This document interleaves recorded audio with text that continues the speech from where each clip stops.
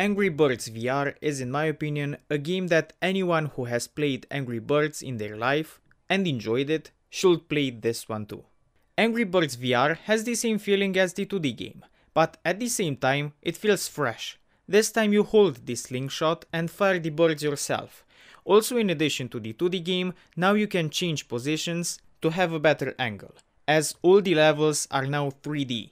The gameplay is pretty much the same, and it feels the same while also being different. So if you enjoy Angry Birds on your phone or on any other type of console, you will like this one too.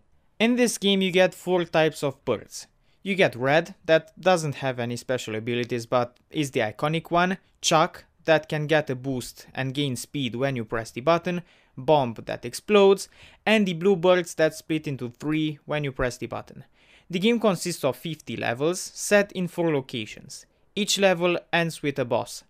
The game is pretty short, it took me around 1 hour to beat, but in spite of its shortness, it's incredibly fun.